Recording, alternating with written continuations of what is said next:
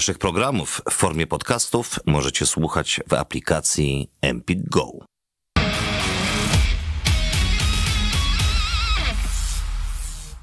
Ósmy dzień września, ja tylko podkręcam sobie swojego wąsa dzisiaj w czapce, bo tutaj klimatyzacja jak kiedyś nie działała, to teraz działa wybitnie, a ja mam zatoki podziębione, także nie chcę się rozchorować, bo w zeszłym tygodniu już w programie byłem podziębiony. Albert nam nie zerka z pod byka, to już oddam e, głos także gościom. Patryk Prokulski, TVP Sport, Albert Odziemkowski, nie wiem jaka przynależność, Skra Fight Club, e, RKT Radom, jak to teraz wygląda? To i to.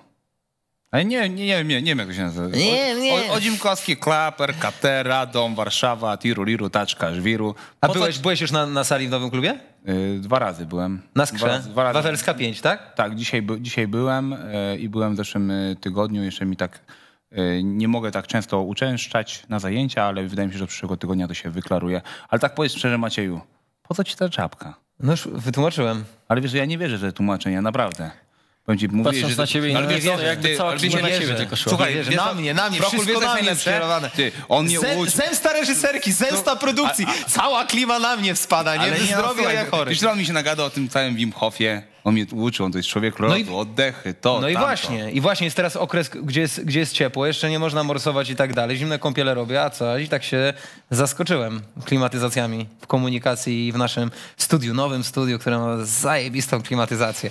Dobra, przechodzimy do konkretów, bo u, ostatni weekend e, obfitował w e, fajną galę organizacji UFC, jak to zwykle bywa. Wizyta na starym e, kontynencie UFC w Paryżu z walką wieczoru Cilir Gan e, kontra Francis Ngannou. O tym wydarzeniu porozmawiamy, bo tam był też akcent e, polski. Później przejdziemy przez łączenie z Mateuszem Rębeckim, z którym tydzień temu nam się nie udało połączyć, a to jest facet, który zasila kategorię lekką. Dodatkowo porozmawiamy trochę o dywizji lekkiej, o tym, co się tam wydarzy. Przejdziemy przez UFC 279, a później przejdziemy do KSW. Wszystko jest chronologicznie ułożone. Tak, zaczynamy od UFC w Paryżu. Jak mogę poprosić wyniki tej gali UFC Cyril Gunn? O właśnie, to jest, e, to jest ta e, gala. W walce wieczoru Cyril Gunn pokonuje e, w trzeciej rundzie Ostatecznie w trzeciej rundzie, bo tam działo się naprawdę dużo taja. E, Tu Iwase Robert Whittaker do jednej bramki wygrywa z Marvinem e, Vettorim. Nasurdin Imawow e, wygrywa z Joaquinem Buckleyem. Roman Kopyłow e, ze zwycięstwem. William Gomis, e, Nathan Wood. e, Abus Magomiedow e, udanie debiutuje w organizacji e, UFC. Na ten debiut czekaliśmy, no i nie zawiódł. 19 sekund to jest e, oficjalny czas zakończenia pojedynku. Jedno z najszybszych skończeń, jeśli chodzi o kategorię e, średnią w organizacji UFC. Nasrat Hakparast e, z wygraną. Faryz Ziam pokonuje e, Michała Figlaka i to jest informacja, od której e, zaczniemy. Też Benoit Saint-Denis, no podczas tego pojedynku z Gabrielem Mirandą atmosfera w hali w Paryżu była wybitna i naprawdę to już zwiastowało, że to wydarzenie może przynieść sporo emocji. Zaczynamy od Michała Figlaka. Typowaliśmy w zeszłym tygodniu wspólnie z Marianem Żółkowskim, że to pojedynek, e, który może być łatwy dla polskiego zawodnika, natomiast ostatecznie łatwy nie był. Był ciężką przeprawą, najtrudniejszą w karierze i mam wrażenie, że nie wiem, czy nie doceniliśmy Faresa Zjama, natomiast Fares Zjam przez ostatnie e, miesiące zrobił przeogromny postęp i w tym pojedynku wyglądał zdecydowanie lepiej niż podczas swoich czterech ostatnich występów w organizacji UFC, a dodatkowo no, Michał Figlak ubogo ze swoimi umiejętnościami wyglądał e, na tle Francuza. I tutaj zastanawiam się, jaka jest przyczyna, gdzie wy dopatrujecie się takiej przyczyny występu Michała. Czy troszeczkę przeszarżowaliśmy z oceną umiejętności Michała, czy jednak, nie wiem, częstotliwość startu w ostatnim czasie trochę wybiła go z rytmu i nie pozwoliła się odpowiednio przygotować, czy jednak Farezian był zawodnikiem, który zawiesił poprzeczkę za wysoko, bo ten progres był duży, albo go nie doceniliśmy. Jak, jak wy to widzicie? Wydaje mi się, że wszystkim należy, musimy się też uderzyć e, w piersi, bo no, pomyliliśmy się i tak dalej, ale na pewno tych e, czynników e, jest wiele. Zjam zrobił ogromny progres, wiadomo, to był zawsze bardzo dobry e, striker ze świetnym timingiem. Troszeczkę brakowało czasami tej takiej dynamiki, szybkości. Tutaj, tutaj było wszystko. Trafiał, wyprzedzał e, Figlaka, e, ale też trzeba oddać mu, jeśli chodzi o te, mm, ten aspekt e, zapaśniczy. Wygląda naprawdę bardzo dobrze. Te wszystkie te scramble, te wybrony, toczenia e, i nawet e, obrony przed e, próbą poddania, wtedy kiedy e, Figlak miał dosiad, próbował zaskoczyć trójkątem, wyglądały naprawdę bardzo dobrze. Krótki łokieć, po chwili musiał bronić też dźwignię prostą balachę z dołu ze strony Figlaka. I ja też widzę na pewno taki aspekt, że też bardzo chciałbym porozmawiać z naszym reprezentantem. E, jaki wpływ miało jednak to zbijanie wagi? Wydaje mi się, że wyglądał troszeczkę gorzej przede wszystkim fizycznie niż w poprzednich bojach. Pytanie, czy to po prostu ta presja, arena, nowa, nowa jakby organizacja, bo jednak to wszystko miało go nieść. I ja też zapytałem się brata, jak z tym zbijaniem wagi? Bo wydaje mi się, że też e, w przeciągu chyba e, kilku tygodni robić dwa razy po 10 kilo, to ciężko, żeby e, ten organizm tego nie, nie odczuł. Mieliśmy też na tej karcie Łuda, który też poprzednio... To, to za moment, to za moment przejdziemy, przejdziemy do Łuda. Natomiast jeszcze właśnie chwilę chciałbym zostać przy, przy Michale Figlaku. Były duże oczekiwania wobec, wobec Michała i tutaj mówimy o tym, że Farezian wyglądał faktycznie lepiej. Natomiast Patryk, jak, jak, jak ty oceniasz ten występ czy nie byłeś trochę rozczarowany? Bo ja osobiście osobiście muszę powiedzieć, że, że zawiodłem się trochę na, na tym pojedynku. Tu widzimy statystyki e, e, tej walki. No i Faryzjan w, w, każdej rundzie był po prostu zawodnikiem lepszym. No ta ostatnia była taka e, najbardziej powiedzmy ze strony Michała agresywna i, i, i, starał się gdzieś odwrócić losy, losy tego pojedynku, już rzucając wszystko na jedną kartę. Natomiast brakowa, brakowało narzędzi, brakowało argumentów. No tak, ja też byłem rozczarowany oczywiście tym występem. Wydaje mi się, że to w jak krótkim czasie on wziął drugą walkę, musiał mieć wpływ, ale to z kolei też jest taka sytuacja, że e, kiedy zgłasza się do ciebie UFC, to po prostu ciężko odmówić, bo, bo można sobie te drzwi e, na długo zamknąć.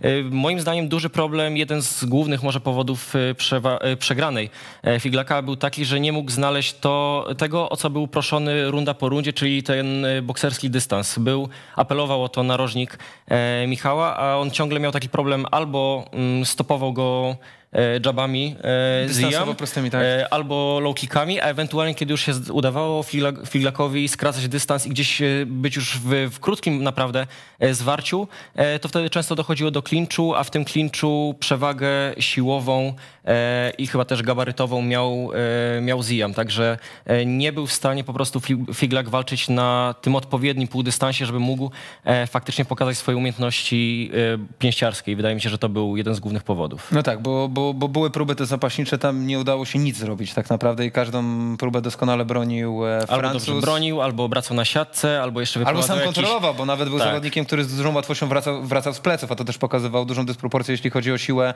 fizyczną. Być może na to miał wpływ właśnie to, co mówił Albert, drugie zbijanie e, w, w krótkim czasie, no bo to jednak to się, to się, to się odbija na, na organizmie. No, pytanie pozostaje jedno co dalej z Michałem i czy to jest brutalna lekcja? Wiadomo, to jest chłopak, który jest ambitny i to, to są bracia, którzy z, z pewnością e, od, odczuli tę porażkę i, i, wezmą się do ciężkiej, do ciężkiej pracy. Natomiast e, jak to będzie wyglądało w kolejnych pojedynkach, kiedy wy oczekujecie, że Michał, Michał powróci, czy jednak dłuższa przerwa, czy wracamy e, szybko, żeby zmazać plamę?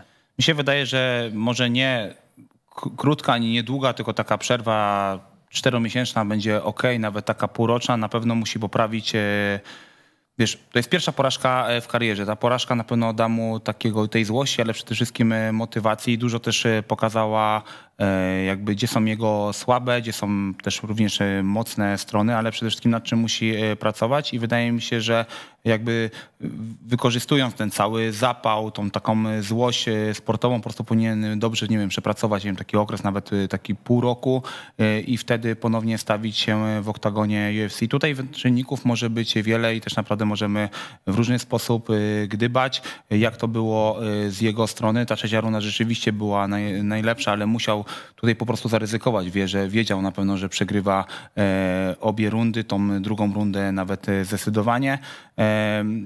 Wiecie, to jest pierwsza porażka i y, też y, ja też miałem możliwość rozmawiania z zawodnikami, też y, sam wiem, jak się człowiek czuje po pierwszej porażce. To jest naprawdę duży ko kop, ale też przede wszystkim ogromny zawód samego siebie.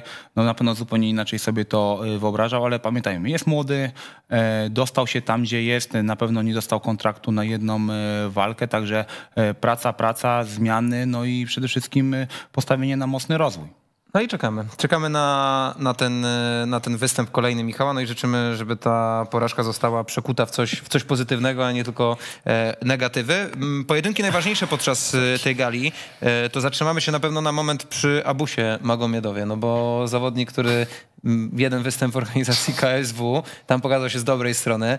E, tutaj wchodzi do UFC, długa przerwa, rozbrat i chłop wpada swoim tak naprawdę klasyczną akcją, no bo gdzieś ten frontal no to jest rzecz, która w arsenale Abusa Magomedowa jest rzeczą nieodłączną. 19 sekund po robocie, bonus za występ, no i z przytupem melduje się w kategorii średniej, pokazując swoje wszystkie największe atuty. Znaczy, jeśli ja mam się odnieść jako zawodnik, kozak, bo naprawdę, y, słuchajcie, naprawdę ciężko się wbić przede wszystkim, wejść tak y, dobrze w walkę po tak y, długiej przerwie. Było troszeczkę tych perturbacji od, od tego, gdzie on będzie walczył. Wiadomo, cel był nadrzędny, UFC, po, pojawia się ten kontrakt, wychodzi i robi robotę i wiecie, to jest zawodnik całkowicie kompletny. To jest chyba 90 rocznik. Tych walk już jest zrobionych naprawdę bardzo dużo i ten chłopak ma przede wszystkim głowę, ale umiejętności i, i warunki, żeby tutaj e, zawojować e, w tej kategorii e, wagowej. Ma 30, 30 walk. 30 tak, walk, 30, 32 lata, bo on jest 90 rocznik, tak jak Wiesz, i też pamiętajmy chyba trzy walki do trzy walki chyba do tyłu, tam na PFL chyba dostał... No, bańkę prawie wygrał tak. z Luisem Taylorem, co w pierwszym rundzie został znokautowany tak. jako jeden z największych faworytów w pojedynku finałowym. To, to było duże rozczarowanie. Tak, to było duże rozczarowanie, był knockout, wiesz, podniósł się, potem e, wygrał naprawdę z mocnym e, czarkiem, e, kęsikiem, jedna walka tylko dla KSW, aż szkoda, każdy naprawdę fani ubolewali, że tak szybko się rozstał z, z federacją. No jest UFC, no ja czekam na jego walki.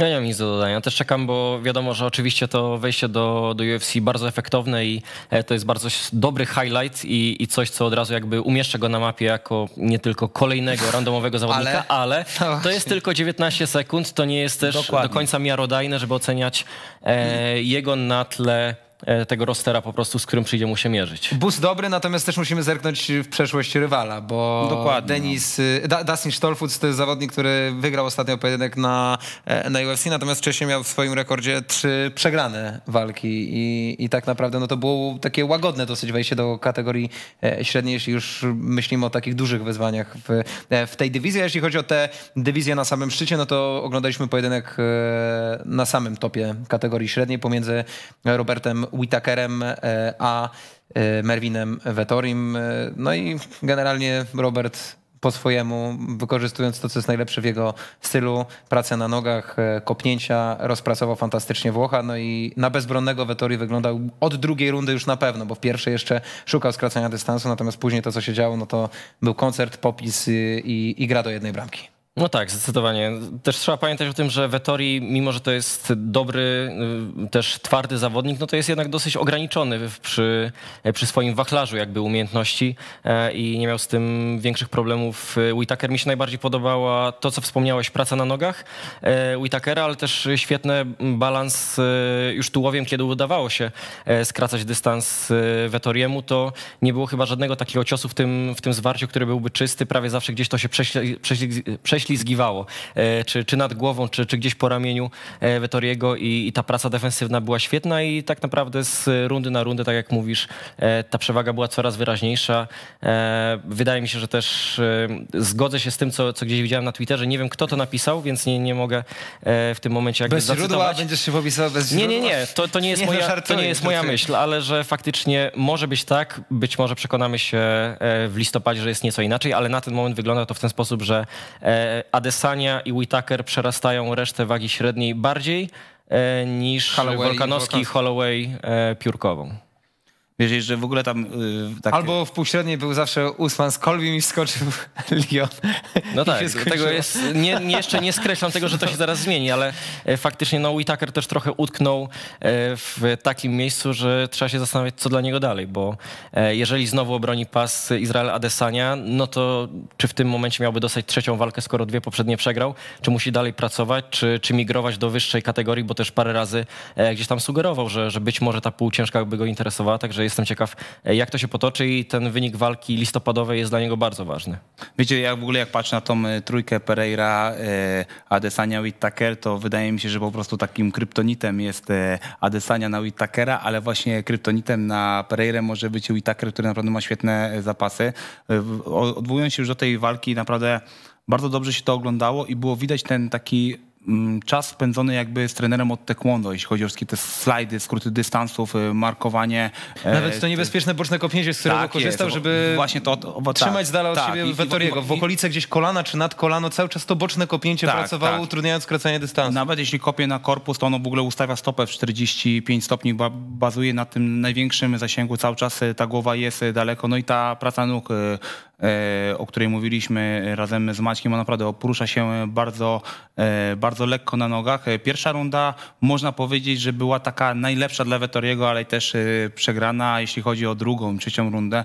Naprawdę to był taki bezbłędny pojedynek ze strony Roberta Whitakera i e, uważam, że no nie wiem, czy on w ogóle jakiś tam cios dostał i tak dalej, tak naprawdę nawet żadnego śladu pojedynku po tym, no uważam, że tutaj ta, ta różnica poziomu, to co powiedziałeś Patryk, naprawdę była przeogromna, mimo że też znam Marwina, y, bardzo go lubię i tak dalej, ale tu po prostu były zdecydowanie za wysokie progi pod względem umiejętności. No i to, to było bardzo wymowne to, co powiedział Vettori, wyprzedzając wywiad jeszcze z Whitakerem w, w klatce, mówiąc, że no, starał się i robił, co, co mógł zrobić, natomiast no, rywal był jaki był, no i to było po prostu nie do przejścia. Przeprosił swoich e, kibiców, e, trenerów, fanów i, i tyle. No i trzeba wracać na salę i, i poprawiać swoje umiejętności, no, ale naprawdę występ Whitakera zrobił ogromne e, wrażenie. Zanim się jeszcze połączymy i przejdziemy do Mateusza Rembeckiego, słówko o walce wieczoru, pewnie potem do niej jeszcze wrócimy. Sirgan Taj Tuivasa. I też o tym mówiliśmy, że ma twardy łeb.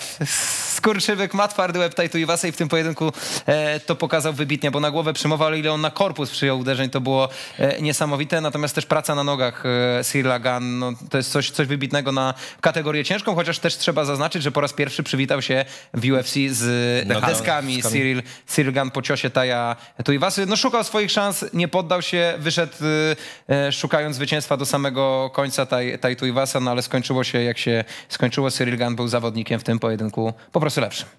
Wiecie też jak, jeśli chodzi o ten pojedynek, pokazuje to, ile właśnie, ile daje jakby odpowiednia taktyka, odpowiednie dobieranie tych e, technik. Momencie, kiedy szukał głowy technik, żeby trafić e, na głowę Tuivasy e, i na początku chyba e, drugiej rundy korzystał z tych niskich kopnięć, głównie na korpus Taja i potem do tego wrócił, tak jakby nie wiem, czy dostał reprymendę z narożnika, ale było widać ewidentnie, że to działa. Tak jak był knockdownowany, momentalnie wrócił do tej pracy, otworzył Taja Tuivasa i wydaje mi się, że jeden z takich piękniejszych knockoutów ze strony Gana. Uważało się, że Taj ma tak twardą głowę, naprawdę ma bardzo twardą głowę, że naprawdę ciężko go znokautować i wydaje mi się, że nikt, na pewno ja nie spodziewałem się tak, tego, że Gan e, wygra z nim e, w takim e, stylu, przy tym tak, takim brutalnym knockoutem, bo jest to zawodnik bardzo taki stonowany w klatce, jeśli wygrywa mądrze, prowadzi te pojedynki, a tutaj naprawdę patrząc na tą atmosferę już przed, to dał to, y, na co czekali kibice. To była piękna gala pod względem dopingu, ale ta walka wieczoru to była prawdziwa ozdoba tej gali. Ale wiesz co, mo- moim zdaniem akurat to, na co zwróciłeś uwagę, że zawsze prowadził w sposób wyrachowany pojedynki wynik, i teraz zmiana tego, tego stylu wynikała z tego, że musiał tak walczyć, bo, bo Taj był takim zawodnikiem, który po prostu nie odpuszczał. On za wszelką cenę chciał szukać swojego, swojego zwycięstwa, e, dlatego tyle, tyle przyjmował w pojedynku. Wydaje mi się, że generalnie po tej no, słabej raczej walce z e, opas e, pełnoprawny, tak, bo był tymczasowym Z mistrzem Francisem. z Francisem Nganu, e, potrzebowało takiego zwycięstwa przekonującego e, z groźnym rywalem, z bardzo dobrą serią zwycięstw e, i to, że zrobił to w Paryżu, to, to wydaje mi się, że też ma dodatkowe e, znaczenie. Być może zobaczylibyśmy zupełnie inaczej walczącego e, Francuza, gdyby nie walczył przed swoją publicznością. Gdzieś może to wyzwalało z niego, z niego jeszcze takie dodatkowe e, chęci, żeby to skończyć przed czasem.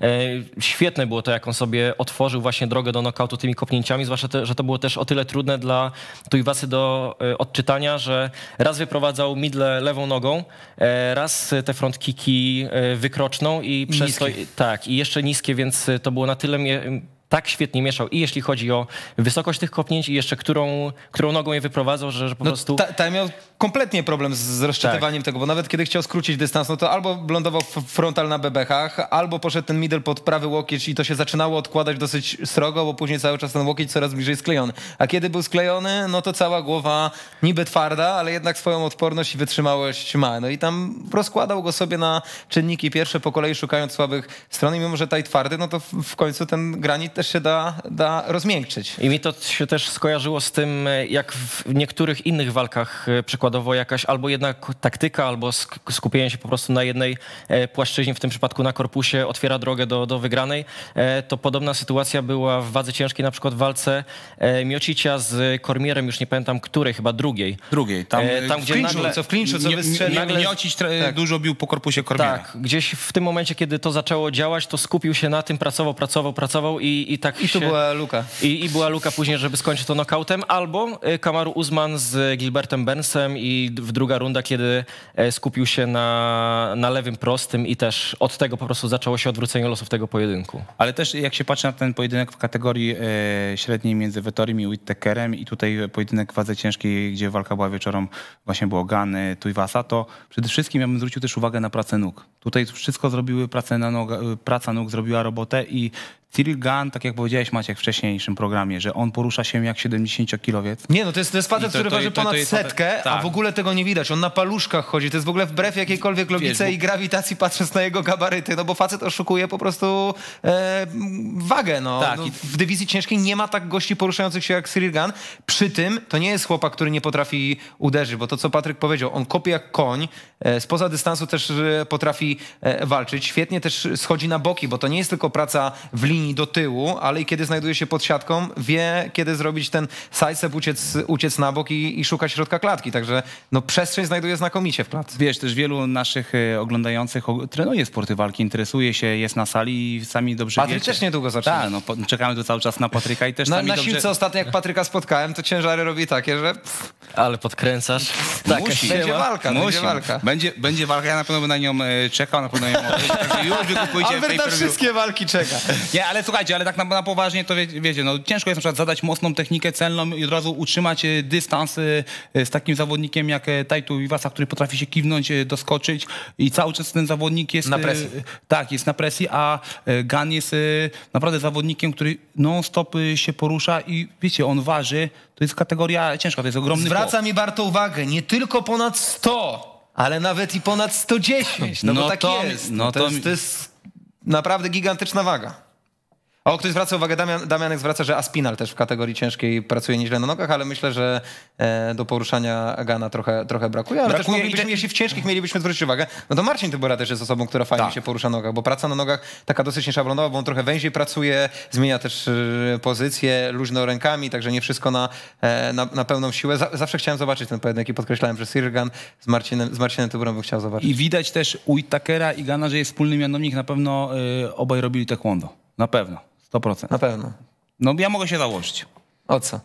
No, o Oloła. Też- Nie, nie, żartuję. Nie, to, to żartuję. dawaj Oloła i o tą czapkę. Nie, nie, nie, nie. Nie, podej, nie podejmuję tego ryzyka, bo mogłoby się to skończyć źle jeszcze w tym, e, w tym tygodniu. To w ogóle już nie chcę takiego ryzyka Właśnie, bo podejmować. walka mi się szykuje, to Tak, lepiej nie. e, dobra.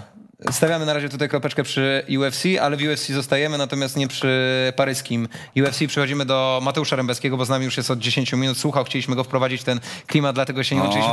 Dzień pro. dobry, panie. Jest Dzień on. dobry, Mateuszu. Dzień dobry, zawodniku UFC. Jak, jak to brzmi? Jak się z tym czujesz? Gratulacje. Witam wszystkich. Witam panie Chińczyku, witam, witam. Witam, witam. Teraz trzeba zmienić ksywę na Robisti. Musicie się nauczyć.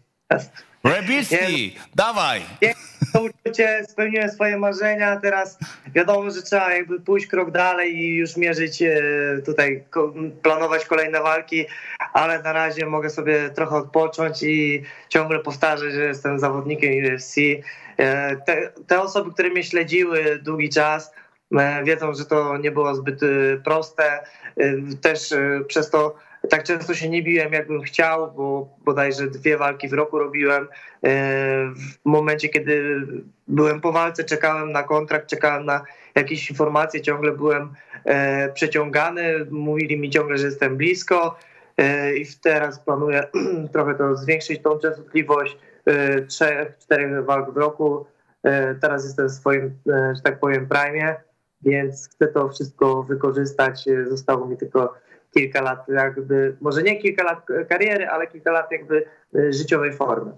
Wiesz co, z Albertem się tu śmiejemy, zerkając za twoimi plecami. Nie wiem, czy ty widzisz, co ty masz za plecami. Jest plakat. jest plakat, na którym jest napisane zawsze kurwa coś. I tak twoja kariera wygląda, zawsze tego UFC chciałeś trafić, ale zawsze coś było, albo jakiś rywal wypadał, albo nie dało się zrobić tej walki i tak Zastanawiam się, jak dobrze musi smakować e, taka konsekwencja, bo ja zawsze to w przypadku też Mateusza Gamrota podkreślałem, że to był chłopak, który zawsze mówi, że on chce trafić w końcu do tego UFC, postawił wszystko na jedną kartę, gdzieś e, darł koty, przecież gryzł koty z e, KSW, z tym rozstaniem kontraktu, ostatecznie się dogadał i poszedł do tego UFC. I ty idziesz gdzieś podobną drogą, gdzie to nie było łatwe, tak jak sam mówisz, dywizja najbardziej opakowana w UFC, ciężko się tam dostać, wszelkimi drogami, tu gdzieś umowy jakieś menadżerskie, tu próby wyjazdów do Stanów Zjednoczonych i treningów w, klubie ATT, żeby gdzieś tam złapać e, kontakty. No i ostatecznie się udaje. Jak smakowało mm, to, kiedy słyszałeś swoje nazwisko wyczytywane przez dane White'a i takie dobre słowa, że ty jesteś nowym zawodnikiem UFC, że ten Ribisti z Polski ma to, co w końcu e, chciał osiągnąć? No przez tyle lat, co ja trenuję i startuję zawodowo, tak można powiedzieć, że to jest takie zwieńczenie, może nawet nie zwieńczenie, bo bym tak powiedział, że jakbym kończył karierę, ale to w końcu poczułem się doceniony. Na zasadzie e, wszyscy, często było tak, że te, te walki, które ja prowadziłem, były prawdopodobnie, czy większość e, dominowałem. E, tutaj też zdominowałem, ale w Polsce to jak ktoś kogoś dominuje, to już zarzucałem, że to słaby przeciwnik, że tu coś. A tutaj miałem mocnego przeciwnika, pokazałem się bardzo dobrze. Ktoś, czyli najważniejsza osoba w UFC E, czyli szef powiedział, że e, byłby bardzo zadowolony i w końcu wiedziałem, że warto było tyle czekać, że e, no, jestem sumienny i do końca wszystko dobrnąłem. Albert Pytanko? No pewnie, no. Panie Mateusz, ja wszystkim chciałem naprawdę bardzo pogratulować. Z samego początku trzymałem mocno y, kciuki, czekałem kiedy to się stało. Nie ukrywam, że czekałem chyba troszeczkę zbyt długo, ale wiem, że nie można mieć do ciebie pretensji, bo robiłeś e, wszystko. Gratuluję waleczki, gratuluję przede wszystkim e, e, kontraktu. Powiedz mi, jak to będzie teraz wyglądało, jeśli chodzi o twoje przygotowania? Czy wszystkie te przygotowania no, będą tutaj, w kraju, czy jednak tak jak robiłeś to przed chwilą, przed tą walką, regularnie będziesz w Stanach i czy może na stałe przenosisz się do Stanów? Czyli to jest wszystko płynne tak naprawdę. Y, no, na razie na pewno nie będę się przenosił do Stanów. E, chcę y, wprowadzać powoli małe zmiany, e, ponieważ y, pokazuje się w dobrej, e, pokazuje dobrą formę na walkach, czuję się tam dobrze, ale wiadomo, że chcę zawsze dorzucać tą cegiełkę. Nie chcę wszystkiego robić tak, żeby zmienić o 180 stopni, więc prawdopodobnie będę przedłużał po prostu okres przygotowawczy w ATT, E, wracał do Polski i tutaj e, naprawiał się, ponieważ e, w Stanach paradoksalnie niby mówi się, że Ameryka, że to lepiej, wszystko jest lepsze, tak bardzo dużo osób mówi. To tak, jeśli chodzi o fizjoterapię, to tutaj miałem problem z masażami, też są ceny zabijające, więc wracam tutaj, recovery, jakiś czas, poprawa jakichś tam takich szczegółów, które w ATT nie jestem w stanie zrobić, bo to nie jest tak, że jak trenuję, trenuję w najlepszym klubie na świecie i to jest fakt, e, nie ma co tutaj e, dyskutować, ale wiadomo, że są takie aspekty, które ja uważam, że można dociągnąć i zrobić lepiej w Polsce. Tutaj mam dużo rzeczy dogranych, tam jeszcze nie. Tam się muszę przetrzeć, muszę jakby też zaznaczyć swoją pozycję, nie wiem, ludzie muszą zacząć mnie bardziej szanować. Jak wszędzie, jak w każdym sporcie i miejscu trzeba czasu, żeby y, ludzie zauważyli, polubili i też inaczej podchodzili do mnie.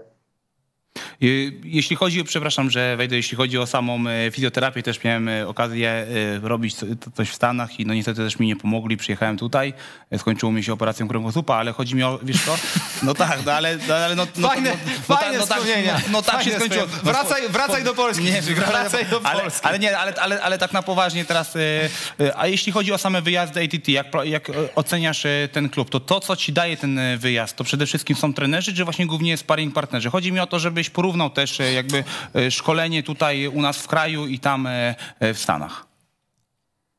Mhm. Dużo jest zależnych. Ciężko to też opisać. To jest takie, że niby jest to samo, ale jakieś tam szczegóły są w niektórych aspektach treningowych. Jest bardzo dużo trenerów ATT. E, ci trenerzy są dla ciebie, nie kasują cię za treningi, bo to wszystko mają opłacone, więc tutaj człowiek ma jakby spokój, spokojną głowę. Tylko trzeba złapać e, wspólny vibe z nimi, dogadać się. Ja akurat fajną współpracę nawiązałem z takim e, Gabrielem. On jest trenerem od boksu, on tam kiedyś trenował kadrę olimpijską boksu, więc tutaj ogarnia temat.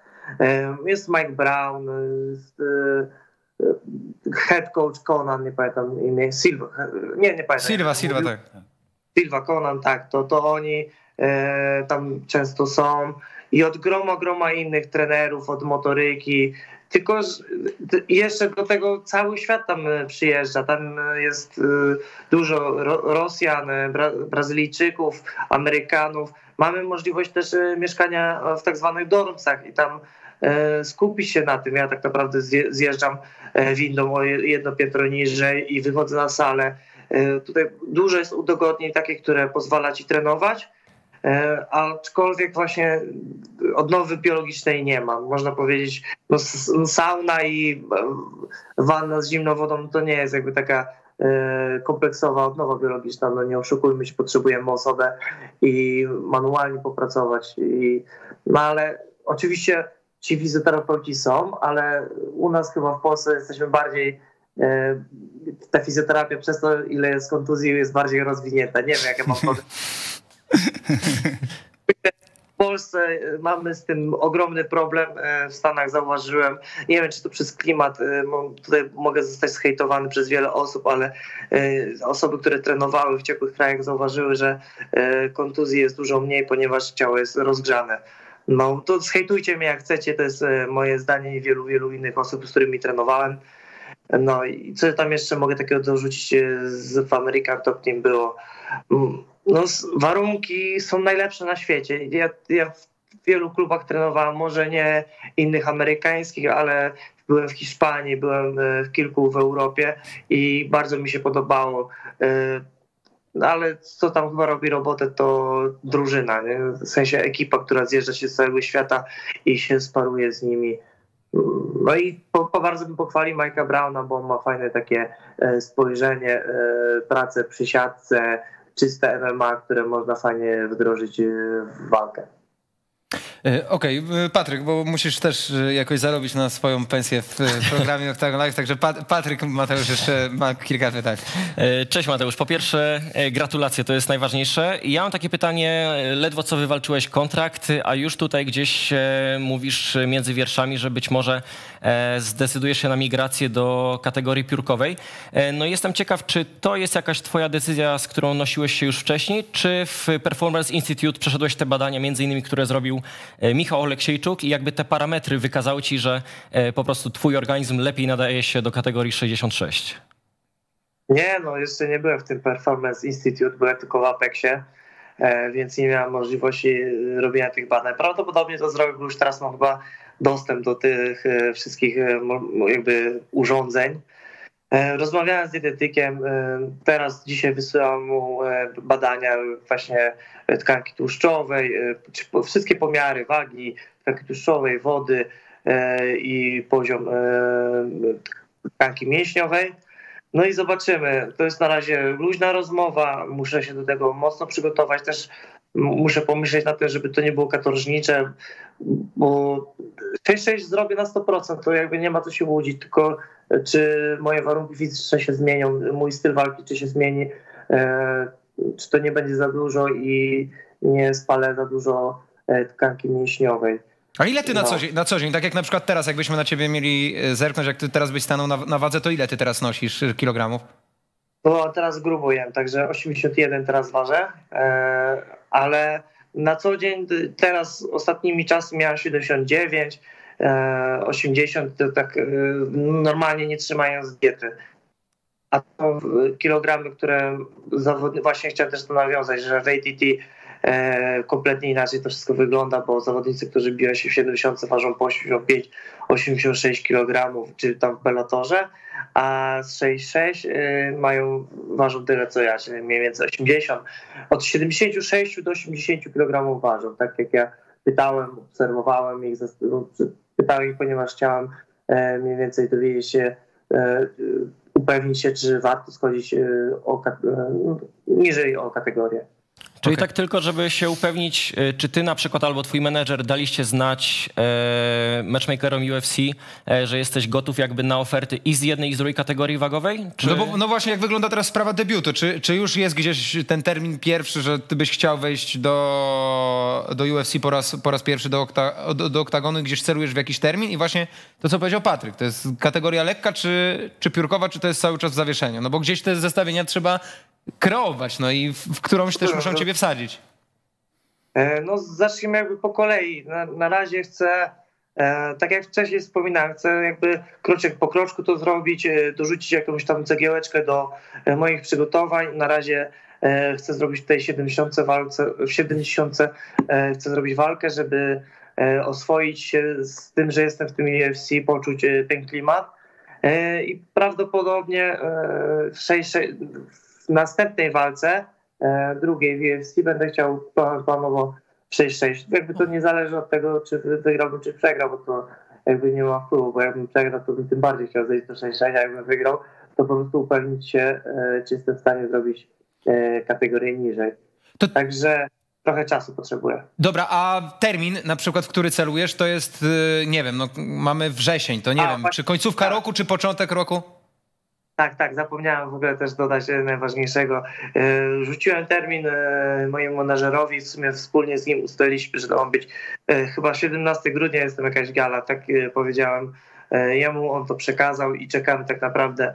e, Chcę się szybko bić teraz tylko z 2-3 tygodnie takiego większego luzu i później wchodzić w obroty, miesiąc tutaj w Polsce potrenować i resztę w Stanach żeby też była akli- aklimatyzacja, bo nie oszukujmy się, że jeśli ja bym teraz, e, jak e, była ta walka w Las Vegas i przyleciał z Polski bezpośrednio do Las Vegas, to jest 9 godzin ró- różnicy i do tego, że zaznaczam, bo bardzo mało osób wie o tym, ale w- na, na tym poziomie to też jest bardzo istotne. Las Vegas znajduje się 6000 600 metrów nad poziomem morza. Jest to może nieznaczne, e, nieznaczna wysokość, ale zawsze to jest jakiś wpływ na wydolność. Byłem, biłem się kiedyś w e, Kolumbii, tam było 2,5 tysiąca e, i metrów nad poziomem morza i było bardzo, bardzo ciężko.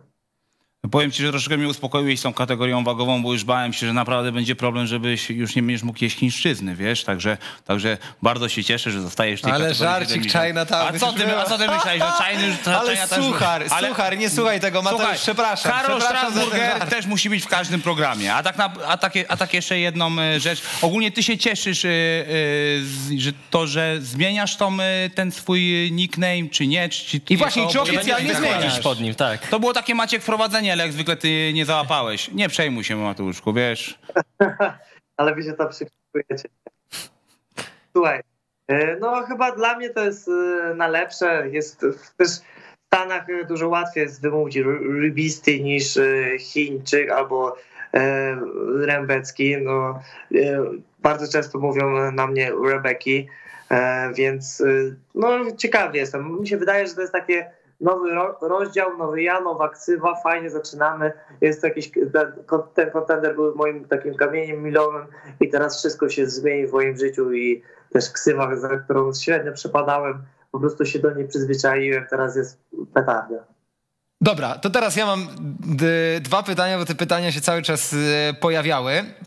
Od widzów. Pierwszy widz pyta, też nawiązując do tych rytuałów przed walką. Antek 1021 zapytaj o disco polo. I, i tutaj Ja. jest moje pytanie dotyczące piosenki na wyjście. No bo teraz na kontenderze wyjścia są bez muzyki. Natomiast zawsze gdzieś częścią twoich występów i pojedynków były utwory na wyjście. Zawsze, znaczy w ostatnim czasie to było disco polo i to różnorodne. I teraz moje pytanie, czy UFC jest gotowe na to disco polo, czy jednak trzeba będzie to zmienić? Też o to miałem zapytać. A my na live jesteśmy, czy nie? Czy to będzie puszczane później? No musi być puszczone, Nie, dawaj, to jest jedziesz. live, to jest live, to wszystko jest live. Ale No możesz, możesz mówić śpiew. W zasadzie teraz osoby jakieś odez... Ja teraz takie rzucam reklamę na zasadzie e, proponuję, żebyście mi na Instagramie wszyscy wysłali jakieś swoje e, propozycje utworów, a ja sobie wybiorę. O, no, ale, ale disco polo wchodzi w grę, czy nie? No tak, tylko, tylko i wyłącznie. Tylko disco polo. No dobrze, to teraz pytanie... Weź tutaj za reklamą i powiedz, że nie ma problemu, niech wysyłają na mojego Instagrama, dogadam się z nimi, nie?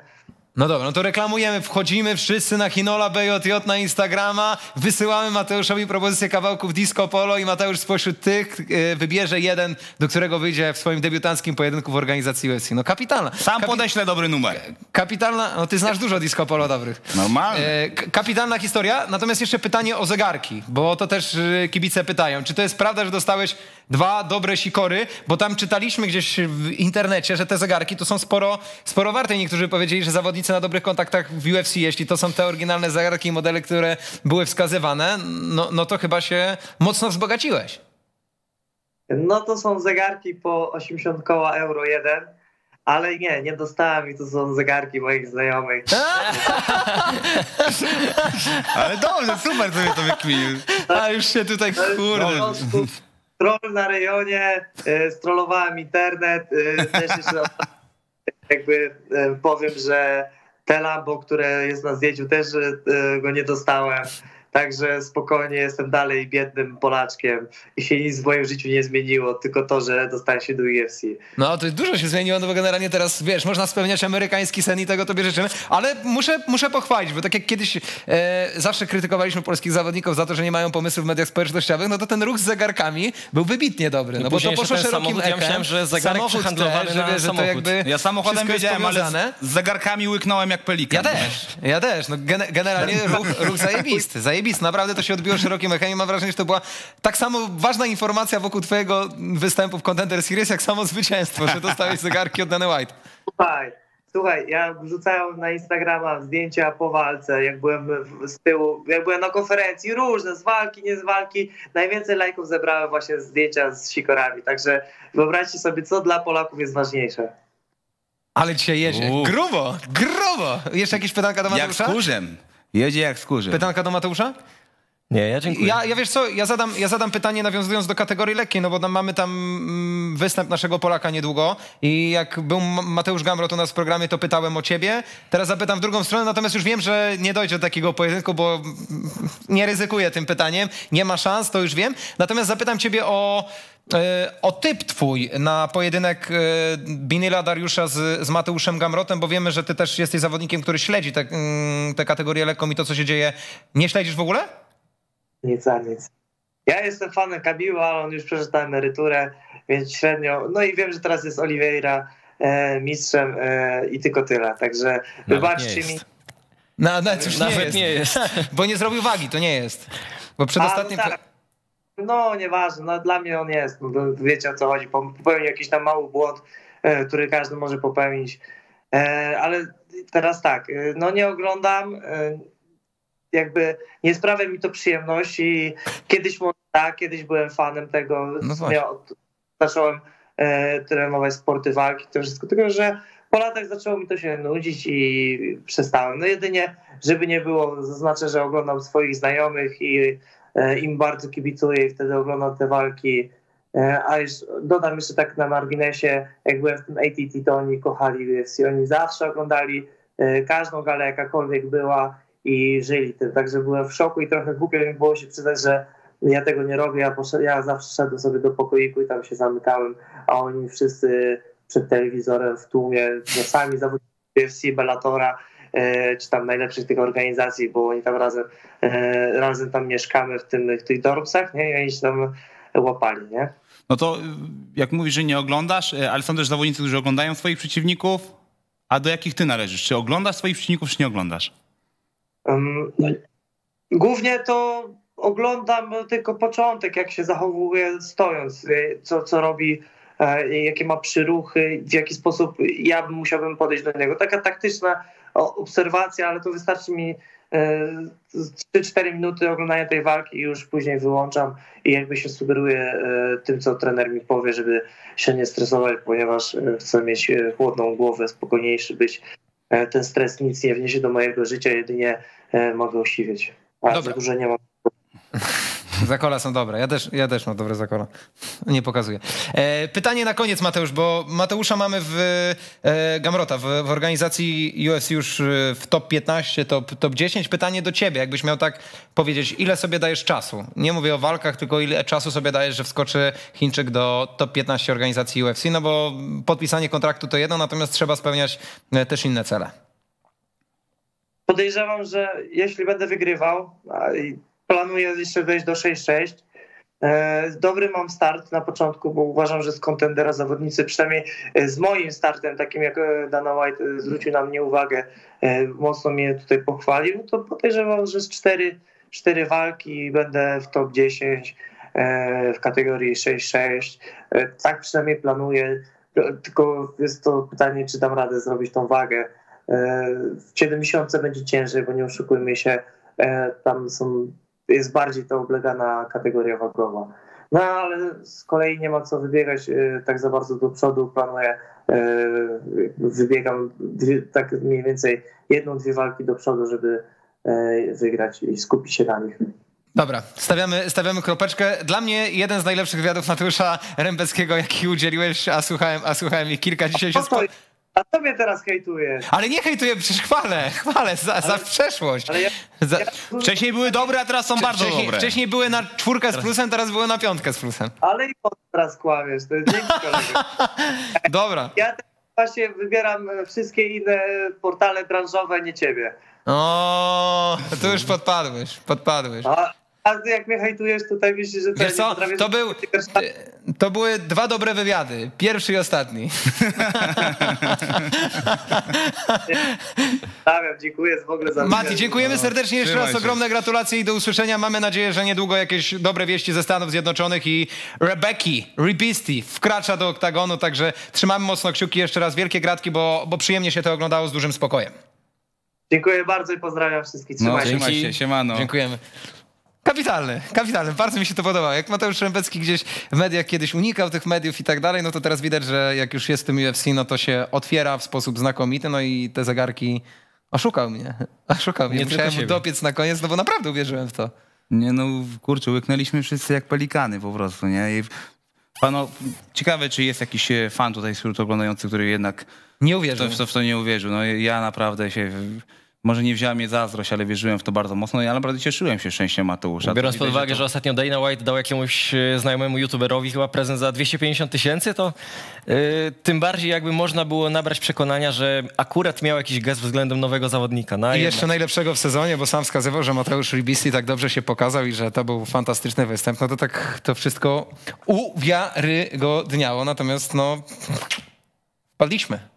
Jak siwka w kompot. Uwierzyliśmy w takie głupoty. Natomiast naprawdę duży plus dla Mateusza za tę otwartość dzisiaj i to, że sprecyzował nam gdzieś datę nawet swojego występu, to w jaki termin te- celuje, że będzie ta zmiana kategorii, bo to nad tym się zastanawialiśmy, że pierwszy występ w lekki, a później już e, celuje w kategorię piórkową. To są fajne informacje, no bo widać, że te plany są ambitne i, i, I też no i. Mateusz też ma, i też ma Mateusz jak Poukładane ma stylistycznie, wszystko. ale tak, poukładane, ale stylistycznie też to jest zawodnik, który Kurde, ciężko znaleźć u niego jakieś takie duże luki poza tymi warunkami fizycznymi, na, niektó- na które niektórzy zwracali uwagę w kategorii lekkiej, że był zawodnikiem po prostu za niskim gabarytowo w porównaniu do tej czołówki organizacji e, UFC. Natomiast no, tak stylistycznie no, to jest zawodnik, trzeba powiedzieć, no, coraz lepszy, bardziej kompletny i już teraz ciężko znaleźć jakieś takie duże luki u, u Mateusza w stylu. Wiecie, też bardzo szybko się rozwija. Jak e, z trenerem Habrosem zaczął współpracować tam w Skorpionie, to było widać, że ta stójka ewoluuje bardzo szybko. No, Parter zawsze miał e, świetne zapasy. Jest zawodnikiem, tak jak powiedziałeś, e, kompletnym. A odnośnie tego wzrostu, wiadomo, to już jest inna era, inni zawodnicy, ale pamiętamy chociażby w kategorii średniej Hektora Lombarda. To też y, wzrostem y, nie grzeszył, a bił się bardzo y, fajnie, a wydaje mi się, że tutaj Mateusz ma y, papiery na to, żeby y, zawojować i dać nam y, y, wiele szczęścia, bo atmos- a, przepraszam, atmosfery. Apetyty rozbudził bardzo. Rozbudził. Jeszcze coś chcesz dodać? Nie chcę jedno, wiesz? No, po, powiedz coś jeszcze. Ale wiesz co, y, daj czapkę. Dobra, za moment łączymy się z Dominikiem Durniatem, ale rozpoczniemy od UFC 279, bo mówiłem, że jeszcze o tym wydarzeniu weekendowym musimy porozmawiać. Jak możemy pokazać kartę walk e, tej gali UFC 279, będę bardzo wdzięczny. Oczywiście wszystko opiera się na walce wieczoru mm, Kamzata Chimaewa z Nathan Diazem. No już ten pojedynek mm, główny jest bardzo kontrowersyjny, jeśli chodzi o transmisję tej walki, której Karolina Kowalkiewicz kontra Hakim Dawu. E, to jest. to ciekawa nie, nie, no walka. To, to gdzieś, gdzieś coś źle, przeklejone. Ale dobra walka była, nie? Taka w końcu...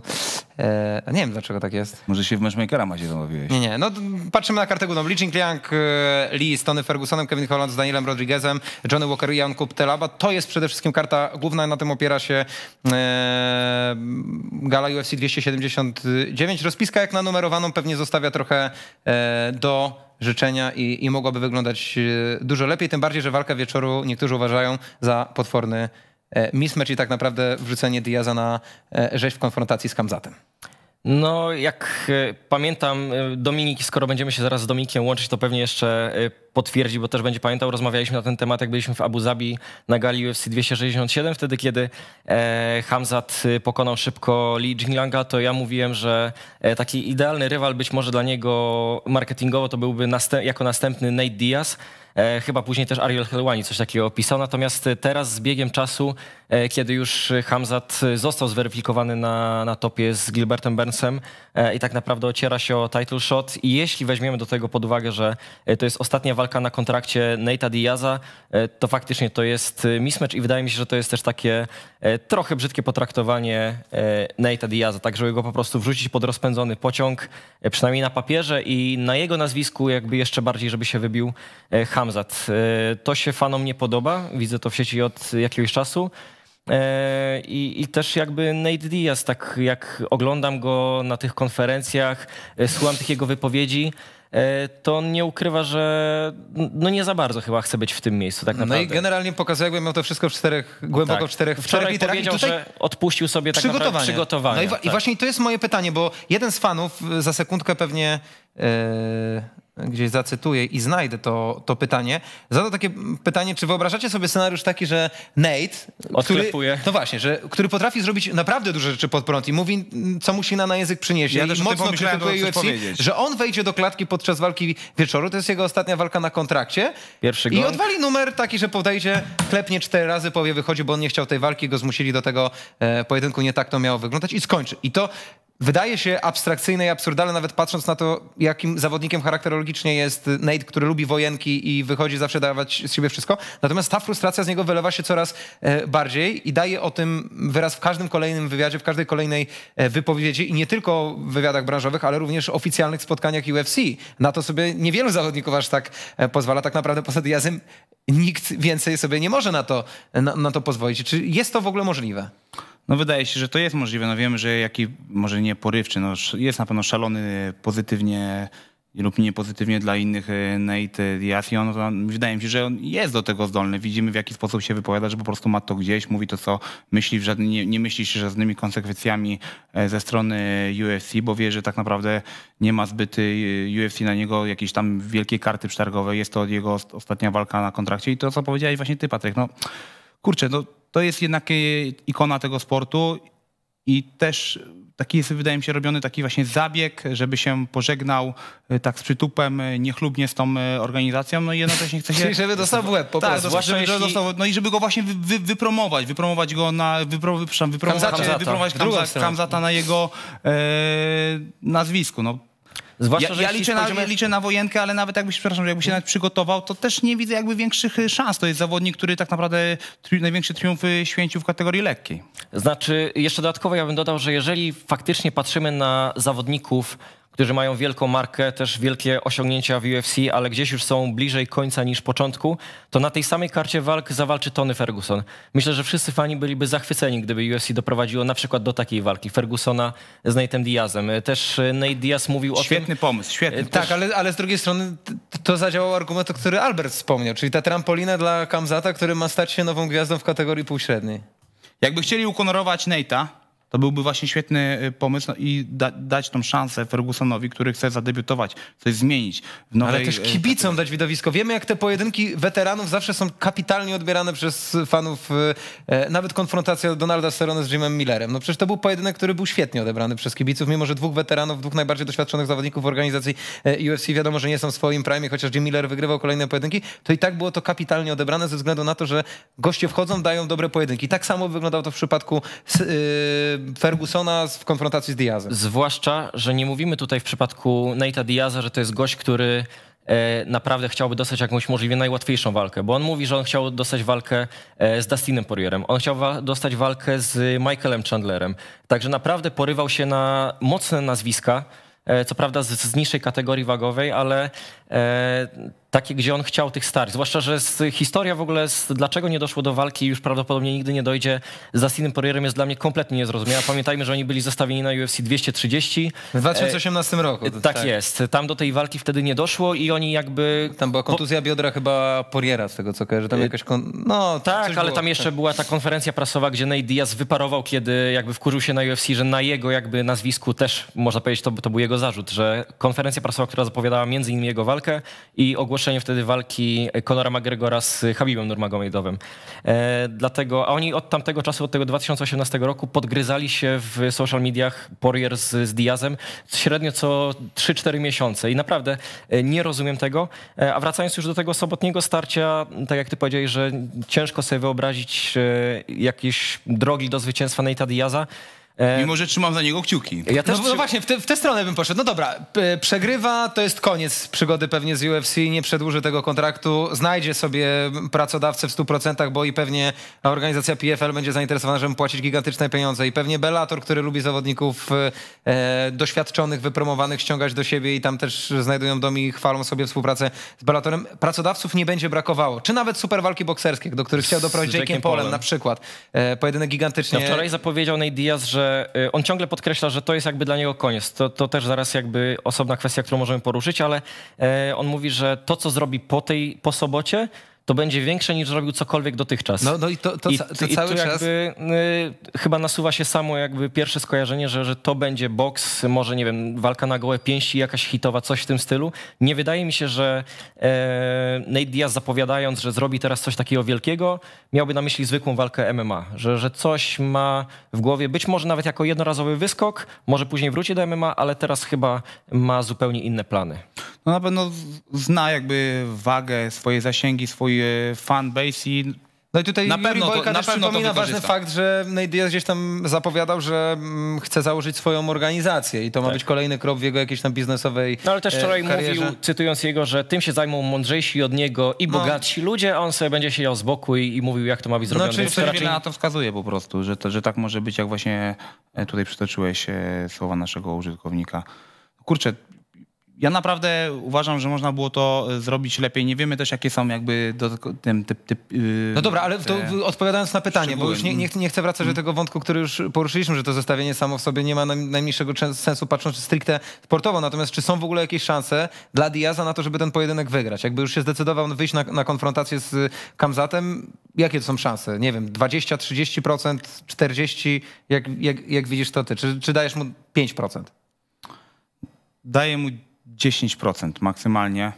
No i przede wszystkim warunki fizyczne, e, dynamika, szybkość, umiejętności, no i przede wszystkim ta siła fizyczna i wydaje się, że e, jeden je- jednak jest w tym etapie, gdzie się bardzo szybko wciąż rozwija, a drugi raczej no e, już ten, jest ta stagnacja i troszeczkę zejście w dół. No i pytanie to, co powiedzieliście wcześniej. Jak on do tej walki się e, przygotuje, czy po prostu nie będzie miał tego wszystkiego... No, e, przygotować też nie przygotuję, Jeżeli, bo już olał przygotowanie. jeżeli naprawdę już szukać bardzo tak optymistycznie i trochę na wyrost y, dróg do wygranej przez Nate'a Diaza, to moim zdaniem musiałby to przeciągnąć do późniejszych rund, czwartej, piątej, bo ten bak e, Hamzata nie jest jeszcze do końca sprawdzony. W walce z Gilbertem Burnsem też miał momenty, e, kiedy opadał sił z kondycyjnie, No, to tam, była tam były nawet kryzysowe, bo tam... A to była trzyrundówka, więc no i pamiętajmy, że ten COVID, który on przeszedł bodajże dwa lata temu, No to był poważny, mocno się, tak. tak. mocno się na nim odbił, więc y, musiałby przetrwać do czwartej, piątej rundy. Być Ale, może ale, ale stójka. Li, liczymy na stójkę, no bo generalnie parterowo gdzieś zapaśniczo, no to tutaj... No, właśnie, wygrywa- ale parterowo, ale Dan kręci- Hardy na przykład. kręci się Nate nie wiem, czy, czy w widzieliście, Dan Hardy upatruje to w ten sposób, jeśli oglądaliście, a jak nie, to, to zachęcam do, do jego analizy, e, że być może jeśli faktycznie dojdzie do tych późniejszych rund, e, kilka razy uda się zmęczonego Hamzata naruszyć. No. Nie, nie, nie, naruszyć na, w stójce, to Hamzat będzie szukał zapasów i wtedy gdzieś złapać w jakąś gilotynę na przykład. Jak Coś- na przykład Conor, no, bo, bo taka była sytuacja, jak zmęczony Conor gdzieś desperacko szukał e, sprowadzenia i ratunku. Tylko musimy jest- też, musimy też pamiętać przy tym wszystkim e, o ogromnym problemie Nate'a Diaza, to, że on po prostu, cytując jego, klikniesz, a on już zaczyna krwawić. I czy on będzie w stanie, biorąc pod uwagę ogromną siłę i umiejętności w stójce, Gabaryty. e, gabaryty Hamzata, Kapitalne zapasy. w- też świetna praca w klinczu, jeżeli by do niej mogło dojść, czy on będzie w stanie po prostu, czy będzie dopuszczony przez lekarza, jeżeli będzie mocno porozcinany, porozbijany, żeby wyszedł w ogóle do czwartej, piątej rundy, e, jeżeli będzie gdzieś tam krwawił znowu z łuku bryjowego, który otwiera się praktycznie w każdej walce. E, Ostatnio z, z Lyonem też miał chyba rozcięcie pod, e, pod okiem, jeśli dobrze pamiętam, także no to jest kolejny problem i tylko jest szczęście, że to nie jest walka w Nowym Jorku. Jeszcze jeden wątek, ale już z Dominikiem go chcę poruszyć, bo Dominik jest z nami już od kilku minut i przejdziemy za chwilę do organizacji KSW. Natomiast wątek, który jest y, kontrowersyjny dosyć w Polsce i tak w takim szerszym gronie chciałbym poruszyć ten temat, a mianowicie mm, temat y, transmisji tego pojedynku. Bo my rozmawiamy o walce, która jest walką wieczoru gali UFC 279 numer. Dzień dobry Dominiku, już witamy z tobą. Dzień dobry wszyscy. Cześć, z tej strony Dominik Duriat. E, Wi, wi, wi, witamy. ten Dominiku. pojedynek nie jest transmitowany w e, polskiej telewizji. Oczywiście Polsat Sport y, transmituje z broadcasterem, jeśli chodzi o e, galę UFC w, w Polsce. No i ze względu na koneksję, gdzieś znajomość z Ramzanem Kadyrowem e, Kamzata Chimajewa, już ten pojedynek po raz drugi Kamzata nie będzie pokazany w Polsce. No jest gdzieś dwugłos, może nie dwugłos, bo większość ludzi twierdzi, że to być może dobra postawa. Natomiast jakie jest wasze zdanie na temat tej transmisji? Czy, czy powinna być pokazana ta walka w, w telewizji? Być może z jakimiś obostrzeniami, bez komentarza, z jakąś belką informującą o tym e, i tak dalej? Czy jednak to jest dobra decyzja, żeby nie pokazywać tego pojedynku? No bo tutaj abonenci, którzy płacą za, za galę, nie, nie obejrzą najważniejszego pojedynku tego wydarzenia. To jest do mnie pytanie No najpierw? zacznij. Okej. Z przytupem. Ja, ja się cieszę przede wszystkim, że nie muszę takiej decyzji podejmować, bo myślę, że to jest trochę tak, że zawsze znajdzie się głos na jedną i drugą stronę. Rozumiem gdzieś jakby jak to Polsat stara się rozgraniczać, czyli te osoby, które gdzieś potępiły agresję Rosji na Ukrainę albo jawnie mm, sympatyzują ze stroną Ukrainy, to nie są wykluczane. Ta druga strona jest, ale na przykład w przypadku Hamzata Yy, no jakby zawsze, zawsze jak yy, rozmawia się o tych osobach, które są czy z Czeczeni, czy z Dagestanu i mówi o tym, po której oni są stronie, to zawsze no przypominam, że to nie jest zajedynkowa sprawa tam i to nie jest takie proste, że ktoś się może wprost opowiedzieć za tą stroną. Po tej stronie przypominam, że Hamzat Chimajew zakończył karierę, po czym na jego Instagramie Ramzan Kadyrow napisał mu w skrócie nic nie kończysz, przyjedziesz tu i ja ci wytłumaczę, że ty nie kończysz tej kariery. Więc pytanie na ile w ogóle jest nie wiem, Chimajew jest w stanie sam podejmować jakiekolwiek decyzje, czy on po prostu nie jest w pełni w tym momencie uzależniony i to, że jest, nazwijmy to, nie wiem, kolegą Kadyrowa wygląda w ten sposób, że Kadyrow mu powiedział, będziesz moim kolegą i będziesz reprezentował Czeczenię na e, arenie międzynarodowej, a ja się będę tobą chwalił. Niemniej, e, no nie, mi jest gdzieś chyba bliżej do tej wersji, no czyli mm, to ktoś na Twitterze chyba podrzucił taki pomysł y, w poście Jurasa, jeśli dobrze pamiętam, czyli że na przykład te walki są pokazywane, ale w tym samym czasie jest właśnie belka z informacją na przykład y, jakąś akcją charytatywną, nie wiem, na, na rzecz Ukrainy, czy po prostu z informacją, że jest jakby jasne stanowisko, no ale ze względu na to, że to jest wydarzenie sportowe, to pokazujemy. Natomiast jest mi no bardzo trudno to określić. No wiecie też, że w KSW chociażby też były takie sytuacje, tak? I jest to w tym momencie tak zawieszone, że no zawodnicy z Rosji teoretycznie nie mogą walczyć e, w KSW. W sensie nie walczą, na razie po prostu nie ma takiego tematu i, i gdzieś na pewno jest to trudne, jak to zrobić i za, z jednej strony pozostać w tym wszystkim człowiekiem i dobrze się zaopiekować tą sprawą, która jest sprawą poważną, bo dużo ważniejszą sprawą od sportu i od tego, żeby sobie obejrzeć pojedynek jest to, że się toczy wojna, która decyduje o losach świata. E, przynajmniej tego tutaj koło nas, a możliwe, że po prostu całego świata, jeśli też się mocniej zagłębimy. No ale też rozumiem osoby, które chcą obejrzeć tę walkę i mówią na przykład, ej, płacimy, a nie możemy zobaczyć tego pojedynku. Wiesz co, no tutaj podejrzewam, że takim punktem, który gdzieś y, powoduje jakieś ale, bo gdyby była konsekwencja pewnie od A do Z, to nie byłoby żadnego ale. Była sytuacja z Piotra walką Jana. Pi- Piotra Jana. Piotra Jana, który gdzieś umieścił w swoich mediach społecznościowych e, gołębie, które, były, które są symbolem pokoju, natomiast to, to był post dosyć enigmatyczny, bo nie odnoszący się do żadnej e, sprawy, natomiast w wiadomych okolicznościach. I, I ten pojedynek był pokazany, a na tej samej gali nie była pokazana walka e, Kamzata Chimajewa, który dzień wcześniej gdzieś u niego w mediach społecznościowych pojawił pojawiło się post czy zdjęcie e, wspólnie z Ramzanem e, Kadyrowem, co wywołało ogromne e, wątpliwości. No i, no i tutaj odbiję piłeczkę do, do Patryka czy, czy do Alberta. Jakie jest wasze zdanie? Czy powinniśmy gdzieś dzielić na tych, którzy się opowiedzieli albo nie opowiedzieli, czy po prostu pełna gdzieś banicja mm, stuprocentowa ze względu na, nie wiem, pochodzenie, obywatelstwo albo właśnie jakie znajomości powinna powodować, że tego e, pojedynku nie pokazujemy. Czy wiesz co, ja ze swojej strony wydaje mi się, że nie wiem, czy jestem w pozycji, żeby oceniać decyzję Polsatu, bo jakby, No bo jesteś w kontrowersyjnej stacji. No Jestem tak. kontrowersyjnej, dzięki. Konkurencyjnej Mówimy o kontrowersjach, dlatego przepraszam, zostało... Tak, tak. Y, No wiesz, jakby ja mogę powiedzieć, jak to wygląda u nas. W TVP jest y, po prostu zakaz y, pokazywania walk Rosjan, Białorusinów i tego się trzymamy od samego początku. E, Nie mieliśmy jeszcze sytuacji, kiedy dochodziłoby do Polsko. walki Polaka z Rosjaninem. Nie wiadomo, jakby wtedy wyglądało. Ja na przykład byłbym za tym, żeby walk, Nie, no, walka, walka Polaka, Polaka jest, ja uważam, jest ważniejsza pokazuje, niż, tak. niż banowanie czy, czy jakiś tam protest przeciwko e, Rosjanom. Tak, tak uważam. Natomiast jeśli chodzi o Polsat, wydaje mi się, że e, największy problem, jaki jest z tą decyzją Polsatu związany, to jest taki, że ludzie łapią brak konsekwencji, który nie zamyka się tylko w samym MMA, bo chodzi też o to, że na przykład są spotkania tenisa, które były pokazywane e, i, i tam były zawodniczki z Rosji, zawodnicy z Rosji e, i w ogóle jakby nie było podnoszonego tematu, czy pokazywać, czy nie pokazać, po prostu wszystkie mecze były pokazywane i wydaje mi się, że też tego tak, się że- e, że trochę chwytają ci, tenisiści którzy krytykują Polsat, okej. tak mi się wydaje.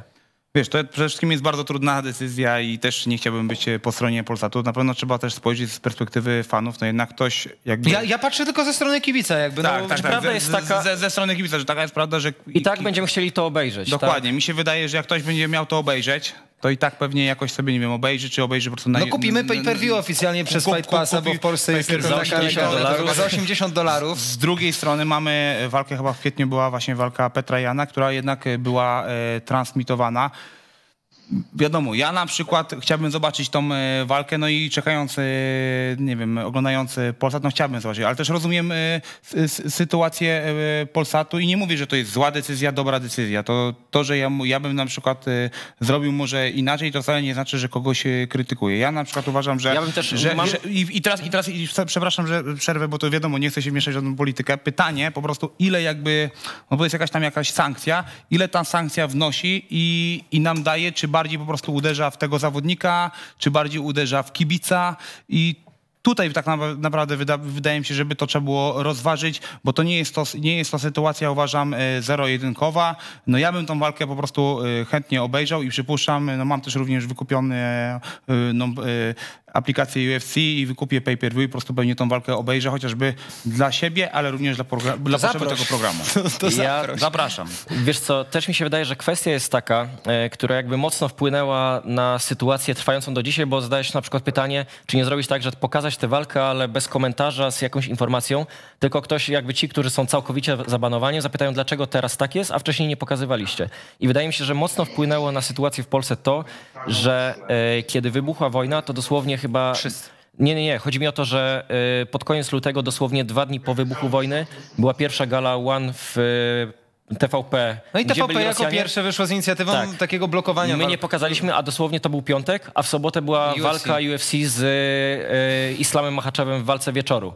I jakby Polsat też poszedł, możliwe, że to była decyzja jakby niepowiązana z TVP, może sami na to wpadli, może poszli jakby śladem TVP, ale od samego początku było tak, że nie pokazujemy tych walk. Być może, gdyby do pierwszych gal z udziałem Rosjan dochodziło powiedzmy, nie wiem, miesiąc po wybuchu wojny, czy trzy tygodnie, to ta decyzja byłaby trochę inna, może jakieś inne rozwiązanie byłoby spokojniej Paweł, wzięte. Paweł Wyrobek na czacie, witamy serdecznie, który jest dziennikarzem e, Polsatu Sport, pisze, że nieprawda, wszyscy rosyjscy tenisiści pokazywani w Polsacie opowiedzieli się przeciwko wojnie. Gołębie u Piotra Jana były w barwach Ukrainy i Rosji. No tak, tylko że to jest cały czas ta dyskusja taka, czy jesteśmy konsekwentni od A do Z, czy nie, no bo z drugiej strony Kamzat nawet nie ma obywatelstwa rosyjskiego, tylko e, reprezentuje Szwecję, tak? No i tu, tu chodzi tylko To o, ja o powiem te tak bezpośrednio, jakby co Paweł, ja powtarzam te zarzuty, które widziałem w internecie i na grupach dotyczących MMA e, na fejsie i na Twitterze i tak dalej. To są po prostu, to jest też taka kwestia, nie każdy kibic będzie wchodził na Instagrama zawodnika, Twittera i tak dalej i dokopywał się, czy ten był przeciwko, czy ten był za, e, bo nie każdy chce to po prostu Czy, robić. czy robimy właśnie od A do Z zero-jedynkowo, czy jednak wybieramy ze względu na to, kto się opowiedział, kto nie opowiedział? No i tutaj po, pojawiają się dyskusje, bo zawsze znajdzie się osoba, która powie, ale jednak coś, ale jednak... Czy ja uważam, że tak naprawdę nie ma tutaj dobrej, jed- jedynej słusznej decyzji i czego by nie zrobił Polsat w tym przypadku, czego by nie zrobiło nie wiem, w przypadku walk y, u siebie Bellatora czy jakichś innych TVP, zawsze znajdzie się krytyka i e, tak jak powiedział Albert, y, to jest tak naprawdę dobrze, że niektórzy z nas nie są w takiej sytuacji, żeby podejmować te decyzje, bo to jest y, ciężki Nie, temat. ale to, to tylko ty, tym tematem chciałem otworzyć jakby oczy kibicom, że to nie jest sprawa zero-jedynkowa i to nie jest tak łatwo podjąć, podjąć taką decyzję, bo za chwilę przyjdzie walka e, Polaka, za chwilę przyjdzie duży event na przykład w e, Abu Zabi, no bo mamy za chwilę walkę, bo ja też do tego zmierzam. I tam będzie prawie cała karta. 22, nie, w karcie głównej akurat jest chyba tylko Piotr Jan z Seanem Mhm. O'Malim, e, którego już Polsat pokazywał, ale w walce wieczoru z kolei jest Rosjanin. Islam Maczaczew, który nie zajmował swojego stanowiska i tu już za, zaczyna się dyskusja na temat tego, czy powinno być, czy powinno być bez komentarza, bo to jednak walka na e, szczycie kategorii lekkiej, jedna z najważniejszych w, w tej dywizji, również ze względu być może na zwycięstwo Mateusza Gamrota z Bignielem, e, Dariuszem i ta walka może wyłonić kolejnego przeciwnika dla Mateusza e, Gamrota i czy pokazywać, czy nie. No, to są trudne sprawy i trudne decyzje do podjęcia, sprawy, dlatego no. też jak wy, podobnie nie chciałbym być w takiej sytuacji, żeby decydować o tym i, i ewentualnie zbierać y, żniwa takiej albo innej e, decyzji. Tu stawiam kropeczkę przy UFC 279 i przechodzimy do Dominika. Dominiku, Tam? gala KSW 74, bo na to mamy e, 20 minutek. E, pojedynek wieczoru, kategoria e, ciężka. Ricardo Prasel, e, De Vries. E, Mamy walkę e, Damiana Janikowskiego. Mamy walkę z wymagającym przeciwnikiem, z Tomem, z Tomem Brizem, z przeszłością w organizacji UFC. E, Mamy walkę Tomka Romanowskiego w kategorii e, średniej. E, jak ty byś miał mm, okiem eksperta i osoby, która jest bardzo blisko organizacji KSW wskazać e, top 3 pojedynków tej e, gali, to na które starcia byś zwrócił uwagę?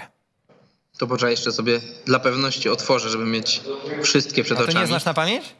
Wy, no tak, wiesz, mogę pominąć. Myślę, że top 3 to wskazałbym, jeśli chodzi o walki, Polityło Martins, e, tylko losowa kolejność, nie są to od tej najważniej, najbardziej emocjonującej. Koziorzemski, Mek i właśnie Tom Breeze kontra Damian Janikowski. Chociaż Kęsik Romanowski też może być świetny pojedynek, jeśli panowie zdecydują się zrobić coś podobnego, co ostatnio zrobił Kęsik w starciu z Krakowiakiem i pójdą w jakieś szalone wymiany, no to pamiętajmy, że to była jedna z najlepszych walk y, zeszłego roku, tak pod względem emocjonalnym na pewno od tego, co wszystkiego, wszystkiego co się działo. Jeszcze na 100% czekam bardzo mocno na kolejny występ Wojtka Kazieczki, bo to jest człowiek, którego trzeba oglądać, jeśli się jest fanem sportów y, walki. Myślę, że naprawdę warto tutaj spojrzeć. Tak samo Jestem ciekaw, czy Prasel znów coś wykombinuje, bo po raz kolejny jest chyba underdogiem na poziomie 5 do 1, a już dwukrotnie tak było i dwukrotnie no, zrobił coś, co było absolutnie poza w ogóle naszymi przypuszczeniami. Może mniej z Danielem Mielańczukiem, no ale to, co wykombinował i to, jak wrócił w starciu z Michałem Kitą, no to był jeden z najlepszych comebacków w historii organizacji KSW. Jest bardzo ciekawie. Myślę, że też patrząc na kursy, bo jest bardzo dużo pojedynków, w których te kursy są niemal równe albo tylko nieznacznie na jednego zawodnika przeważają, więc y, powinniśmy tutaj dużo zobaczyć. No i abstrahując od tego, że może niektórym fanom nie podoba się Phil DeFries, no to ja jestem na przykład dużym fanem tego y, jego kunsztu i tego, jak potrafi no po prostu zawodników, no nie wiem, Darko Stosicia, który nigdy w życiu nie przegrał w kategorii ciężkiej, on go tłamsi i po prostu no, pakuje w parterze Tomka Narkuna, który jest, no wszyscy w Polsce wiedzą, jak fenomenalnym graplerem jest Tomek Narkun. On w parterze zawija w precel sobie, wyklucza mu ręce i bije jak młodszego brata. No to jest dla mnie kunszt Phila. No jak rozmawiamy e, o legendach KSW, no to pewnie przychodzi nam do głowy jako te osoby, które najbardziej wniosły, najbardziej może rozwinęły KSW, których też kibice najbardziej kochają. Pojawiają się wtedy nazwiska Mamet Halidow, Mariusz Podzianowski, Michał Materla, pewnie Borys Mańkowski, ale patrząc na osiągnięcia, trzeba też mieć tę kategorię legend, jeśli chodzi o osiągnięcia i tam na przykład musi się znaleźć chociażby Mateusz Gamrot, który zrobił niesamowite rzeczy w KSW, został pierwszym podwójnym mistrzem, ale też Phil DeFries, który no, wszystkie prawie już możliwe mistrzowskie rekordy, jakie mógł pobić, pobił. Jest w najlepszej drodze, żeby e, w sobotę dopisać kolejne yy, oczka przy swoim nazwisku i kolejne te takie tabliczki z napisem rekord w danej dziedzinie, a wszyscy wiemy, jak fani KSW lubią rekordy KSW, więc powinno być dużo radości w sobotę, jeśli wygra Phil de. Nie wiem, czy miałeś okazję rozmawiać z Tomem Brizem, bo o to chcę zapytać, bo tydzień temu rozmawialiśmy, o jaka to była rozmowa ognista z dyrektorem sportowym organizacji KSW. Serdecznie pozdrawiam Wojsława, bo... Nie ognista byłaby spokojna, tylko przekręciłeś słowa i widzisz, potem się tak dzieje. No, w obrońcy, to wiadomo, to perspektywa... A, dobra, nie, nie, nie, nie, nie, nie ciągnijmy, nie ciągnijmy. Racja, tak, przyznałem się do błędu, tak, to mo, moja wina. Jeszcze przerywałem, też ja Wojkowi, nie Albert, nie, tylko Albert, tak. ja przerywałem. E, nie wracajmy, Maciej, ja, ja tego nie grali. nawiązać bo, e, o Toma Briza i zapytać o tego zawodnika, bo to jest facet, którego stylistycznie mega chwalimy i to jest fajny ruch organizacji KSW, natomiast jest ale. I czy ty miałeś okazję już rozmawiać na przykład z Tomem Brizem albo dowiedzieć się, w jakim on jest stanie przede wszystkim psychicznym, gdzieś mentalnym i czy wrócił na odpowiednie tory e, w, w tym aspekcie? No bo tutaj zawsze pozostaje gdzieś ten element niepewności. Wiesz co, ja nie miałem okazji bezpośrednio z Tomem rozmawiać, no ale ze względu na to, o czym wspominasz, czyli na te problemy gdzieś mentalne, które miał w przeszłości, no to przed w ogóle pojawieniem się w KSW były rozmowy na ten temat i gdzieś KSW starało się ustalić, czy już jest wszystko ok. Myślę, że te dwie wygrane, które zanotował dla LFL, też świadczą o tym, no, że Tom jest już z powrotem tam, gdzie powinien być. I ja myślę, że tutaj ten aspekt e, przygotowania psychicznego gdzieś do pojedynku nie powinien stanowić tak dużego problemu. No nie bez powodu on zrobił sobie przerwę, nie bez powodu teraz powrócił i odbija się w tych innych walkach, więc ja bym mm, gdzieś nie uwypuklał tak mocno tego tematu, jak on jeszcze był ważny kilka lat temu, kiedy w UFC no między innymi dochodziło do jego starć przez to, że właśnie sobie gdzieś nie radził z tymi sprawami w głowie.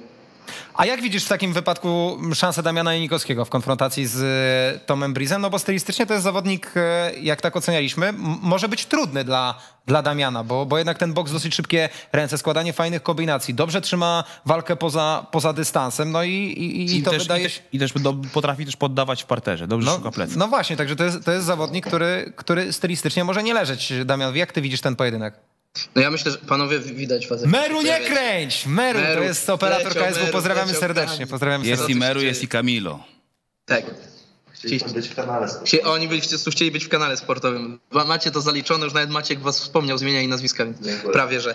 Dobra, y, wracając do tematu. Myślę, że przede wszystkim y, to, co wspomnieliście, Tom Breeze jest i niebezpieczny w stójce, w parterze świetnie y, potrafi zejść za plecy, szczególnie jeśli się idzie do sprowadzenia do jednej nogi. Do jednej Trzeba nogi. Na, bardzo na to uważać, żeby się nie wkradł, ale pamiętajmy, że Damian Nikowski jest po prostu świetnym zawodnikiem, jeśli chodzi o kontrolę w parterze. On może nie jest Jiu-Jiteiro e, pierwszej klasy, jeśli chodzi tu o nasz, nasz rynek czy europejski rynek, ale no taka zapaśnicza kontrola często potrafi tłamsić te takie zapędy z BJJ, więc tu na pewno trzeba uważać, żeby przy ewentualnych sprowadzeniach nie dać sobie zajść za te plecy.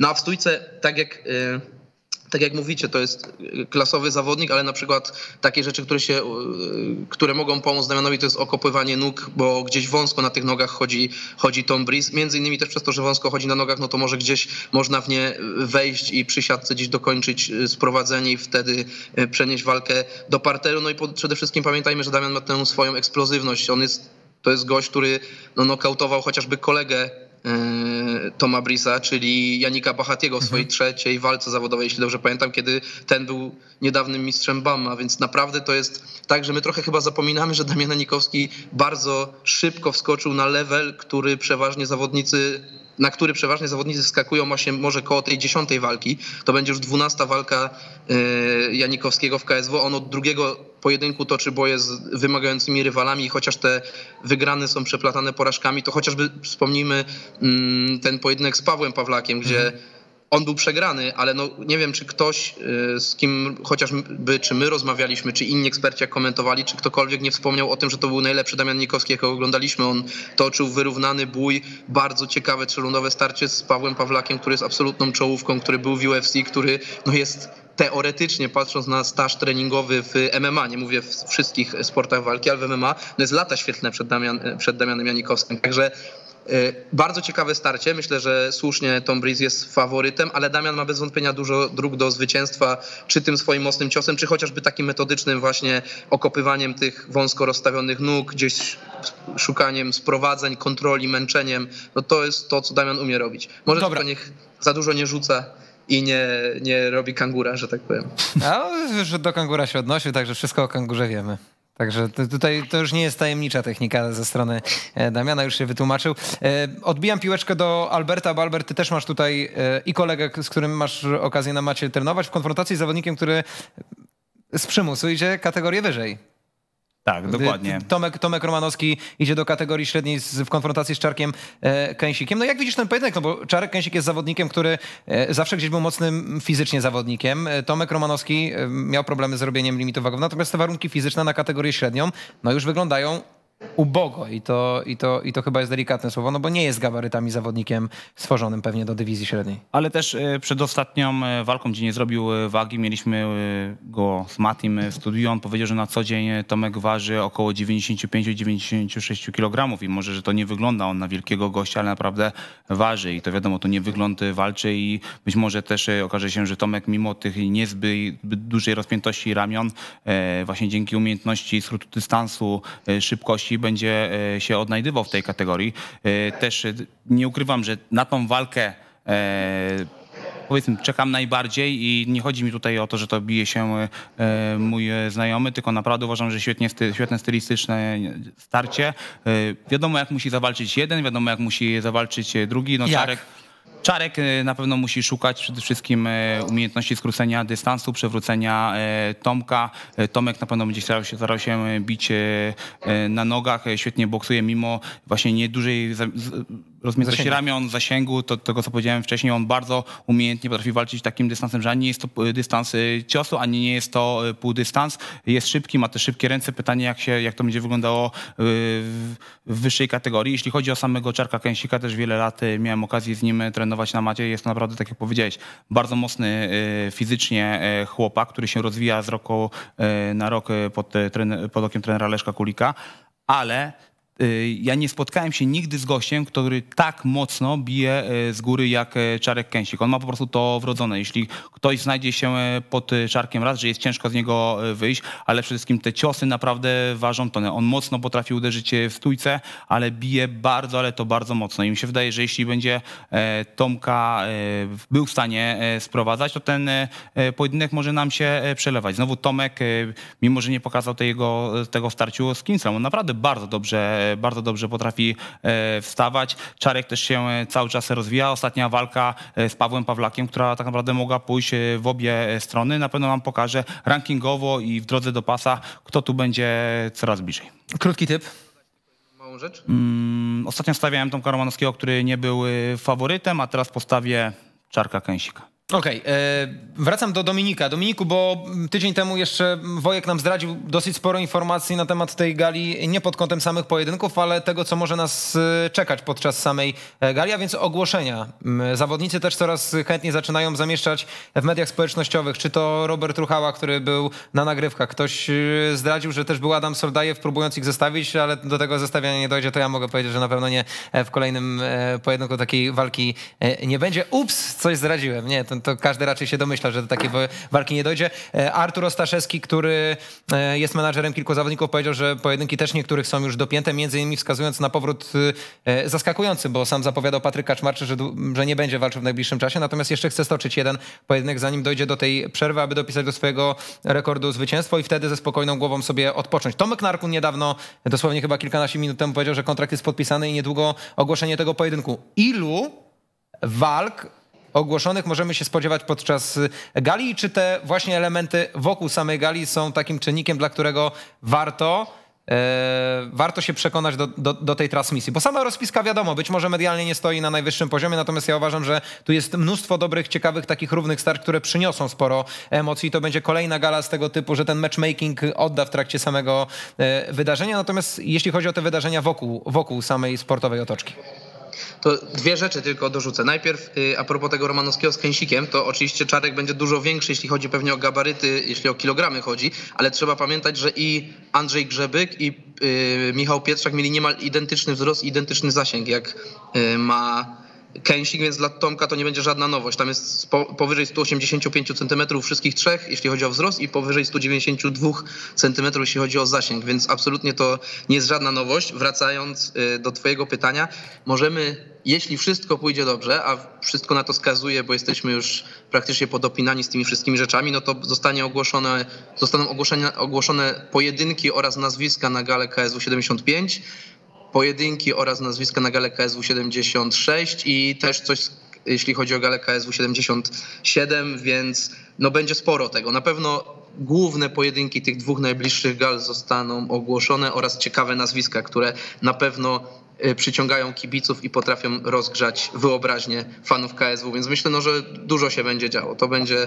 obfite ogłoszenie. A też ostatnio, jak Wojsław y, był u nas gościem na Skype'ie, powiedział, że będzie starał się jakby podawać terminy gale w przód do końca roku. Czy to już dowiemy się y, tego tak, w następnym tak, wydarzeniu? Trzy, Trzy terminy. Inaczej, tak. na ten moment, jeśli wszystko będzie tak jak teraz jest, jeśli się nic nie wysypie, mamy do gali dwa dni, to często potrafi y, o 180 stopni odwrócić to, co jest zaplanowane. Jeśli się nic y, nie zmieni, to zostaną ogłoszone wszystkie trzy gale do końca roku, tak. No tak miało być, tak miało być. No już generalnie ten kalendarz sobie można powoli układać, bo jak gdzieś tam analizując poszczególne wypowiedzi w różnych e, wywiadach i to, co mówił Wojek tydzień temu, no to tam można się domyślać, że na przykład Ibrahim Krzyżygajew powinien wrócić na gali w październiku, że e, Marian Żyłkowski powinien zawalczyć e, z W listopadzie. Także no, gdzieś, gdzieś, już te, te terminy można sobie dokładać, że tych klocków jest dużo. No to mm, siłą rzeczy w każdym wywiadzie zostaje przemycona e, jakaś informacja. Niedługo też pewnie szykuje się powrót Tomka Narkuna, który jest głodny e, pojedynku. Także tych walk ciekawych na samym szczycie e, pewnie jest sporo do ogłoszenia. Czy masz jeszcze, Dominiku, jakiś taki smaczek, który chciałbyś przemycić dotyczący gali KSW 74, który tobie gdzieś uwiera w, w głowie i chciałbyś się jego pozbyć i podzielić szerszej publice? Jak teraz powiem, to mi nic nie zostanie już na, na komentarz, a wiesz, że ja... Nie, no tak szczerze mówiąc, to jakichś takich super szczegółów raczej nie mamy. No to, co e, o, na przykład teraz widzimy na ekranie, to to, że ośmiu zawodników pomagam, pomagam będzie się będzie toczyło pojedynki, no te wszystkie właśnie ciekawostki na temat gali staramy się wrzucać e, w tym tygodniu przed galą na social media KSW, więc można tam tego sporo po, pooglądać. Ja bym przede wszystkim nie omijał tej gali, bo myślę, że ona może być niezwykle ciekawa. Powiedziałeś, powiedziałeś o tym, że jest trochę mniej medialna. Co ciekawe, patrząc na liczby na social mediach y, KSW, to jest na jakby wrócił ten trend sprzed wakacji, że tak powiem, czyli jest liczby dużo większe niż w trakcie wakacji, mimo że ostatnio mieliśmy chociażby walkę Arka Wrzoska z Sararą, która była bardzo medialną walką, to ta gala wyprzedza medial, jeśli chodzi o wyniki tamte, e, tamte wydarzenia. No będzie pełna hala, będzie naprawdę ciekawie. Wy będzie, znaczy nie, Alberta nie będzie, ale będziesz ty Maćku, będzie nowy komentator. O właśnie, i tu jest moje pytanie, bo, bo ja do tego zmierzałem tak naprawdę, bo ja ci tam pod, podrzucił realizator tę ciekawostkę, natomiast y, czy już zapadła decyzja? Bo ja szczerze powiedziawszy nie wiem, bo bo ja Albert, Albert, Albert ja teraz wiem. nie może. Marian wyleciał do Stanów Zjednoczonych i cały czas podobno ma być zachowana trójca na stanowiskach komentatorskich. Czy możesz to zradzić, czy jeszcze nie? No oczywiście, czemu nie? No był też Sebastian Przybysz w gronie chętnych, ale on podobnie jak Marian y, wybył nam za wielką będzie. wodę, więc y, nasze, wy, tak, wyjeżdża, więc go nie będzie. No i nie bez powodu umieściliśmy to głosowanie na, na, y, na social mediach KSW, żeby też poznać głos ludzi, kogo by chcieli usłyszeć. No i tam bardzo mocno przebijał się Tomasz Sarara, więc myślę, że nikt się nie pogniewa, jak sprzedam tę informację, że do Maćka Turskiego oraz Dominika Durniata, mimo tego, co widzicie na grafice tego odcinka, y, dołączy Tomasz Sarara i będzie z nami komentował. Myślę, że każdy, kto chociaż raz słyszał Tomka, jak opowiada, a lubi opowiadać, to, to będzie chciał bardzo posłuchać tego, co ma do powiedzenia, jeśli chodzi o te stójkowe aspekty, a my z Maćkiem postaramy się zrobić tak, żebyśmy od czasu do czasu chociaż powiedzieli Przebili się, no. Tak. Nie, no ale dodatkowo, ale dodatkowo mamy, a dodatkowo mamy dwa pojedynki w kategorii ciężkiej, także na samym szczycie i walka rewanżowa Stosicza z Michałem Kitą i tych zawodników doskonale też zna e, Tomek Saras. Nie uciszaj mnie. Nie, nie ciebie, tutaj mam ekipę. No i wiesz, i, i, i, i, na pewno fani się mogą spodziewać naprawdę wiele, wiele y, smaczków tych takich stójkowych, których naprawdę Tomek y, jest y, znawcą wszech ach i och. No i on też bardzo dobrze zawodników zna, nie? Bo pamiętajmy, że ma chociażby swój kanał YouTube, jeździ do zawodników, rozmawia z nimi, więc spodziewam się, że dużo tej insiderskiej wiedzy też i ciekawostek powinien nam Tomek sprzedać, abstrahując od tego, że ma po prostu gigantyczną wiedzę na temat sportów uderzanych.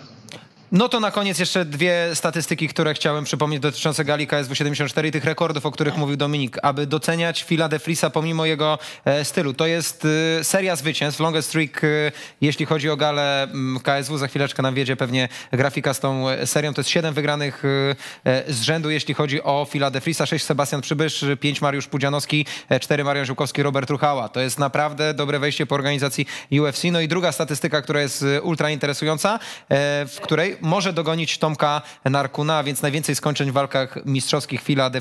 Aktualnie ma w rekordzie pięć e, skończeń Phil de sześć ma Tomek Narkun, natomiast przed e, taką szansą na mm, wyrównanie tego wyniku Tomka Narkuna e, staje Phil de już w najbliższy weekend, także tutaj te liczby mogą zostać po- podkręcone. Dziękujemy serdecznie Dominiku, my się widzimy niebawem, jutro jeszcze studio przed galą KSW, tam Mateusz Borek, pewnie Dominik będzie prowadził e, tę ceremonię, także też dostępna na kanale sportowym, wywiady z zawodnikami, także serdecznie zapraszamy już e, jutro, sobota, to już oczywiście e, transmisja e, gali KSW, będziemy komentować wspólnie z Tomkiem Sararą. Dominik Du- Durniat, serdecznie. Dziękuję bardzo serdecznie. Chciałem serdecznie zapytać, Trzymaj się, czy Domino. Dziękujemy kanał, za, kanał za obecność. I powodzenia Tam- piątek, sobota.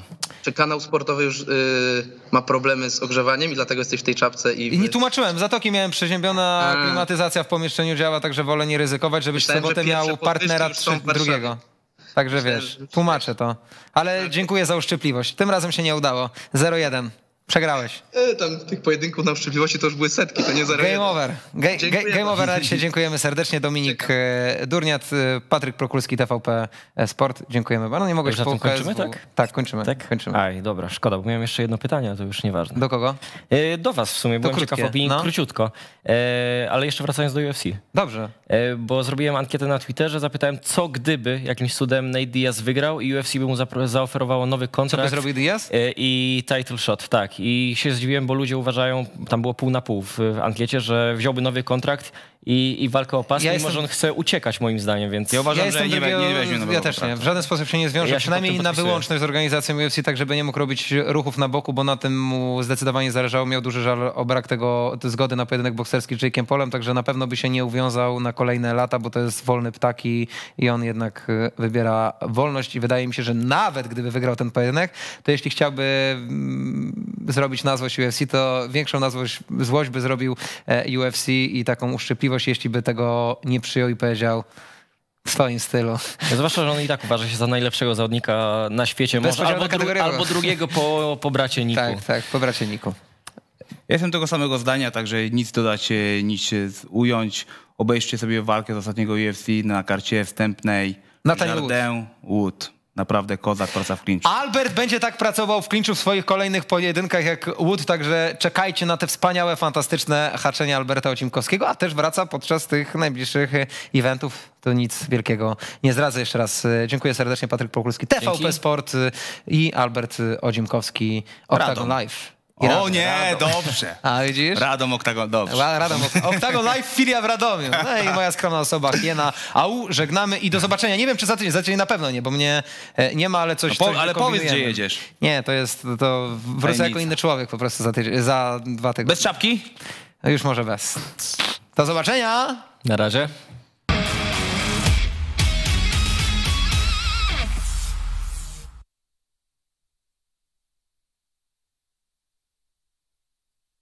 Naszych programów w formie podcastów możecie słuchać w aplikacji Empik Go.